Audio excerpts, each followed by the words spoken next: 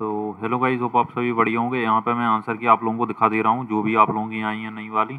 अभी कुछ अपडेट आ रहा है बीए वगैरह की भी सारी कोर्सेज़ की यहाँ पे आने लग रही हैं, जैसा कि आप लोग यहाँ पे देख पा रहे होंगे। बीएससी बायोलॉजी की भी आ गई है बीजीएमसी की भी आ गई, सारी कोर्सेज़ की आ गई हैं। एलएलबी इंटीग्रेटेड की भी आ चुकी है। तो आप लोग अपने जाके मार्क्स देख लीजिएगा, और जितने भी लोगों के, जो भी आप लोगों के मार्क्स आए हैं, वो भी आप लोग बता दीजिएगा।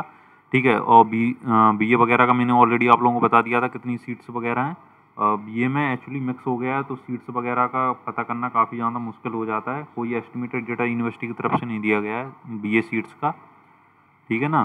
तो बी ए वगैरह का तो पता नहीं है। बी एस सी वगैरह में ऑलरेडी मैंने आप लोगों को बता दिया था। बी एस सी बायो में भी ढाई सौ कुछ सीट्स हैं तो आप लोगों की रैंक कम से कम तीन चार सौ तक होनी चाहिए, तब आप लोगों का आराम से एडमिशन हो सकता है।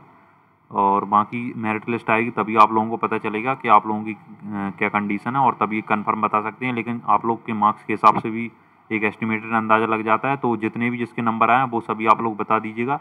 हम लोगों की टीम आप लोगों को कमेंट करके बता देगी। इसका लिंक मैं आंसर की का दे दूँगा आप लोगों को तो आप वहाँ से जाके आप लोग पता कर सकते हैं किस कोर्स में कितना कंपटीशन है, वो भी बता दूँगा। उसका दूसरा पार्ट आना था, अभी टेक्निकल ग्लिच की वजह से दूसरा पार्ट नहीं आ पाया है। तो कल मैं वो पार्ट आप लोगों को सुबह डाल दूँगा और आप लोगों को मिल जाएगा वो। बाकी कोर्सेज़ का मैंने आप लोगों को ऑलरेडी बता रखा है तो आप लोगों को पता चल जाएगा। तो होपफुली वीडियो इन्फॉर्मेटिव लगा होगा। मिलता हूँ फिर से नए वीडियो में। तब तक के लिए चैनल को लाइक और सब्सक्राइब करना ना भूलिए।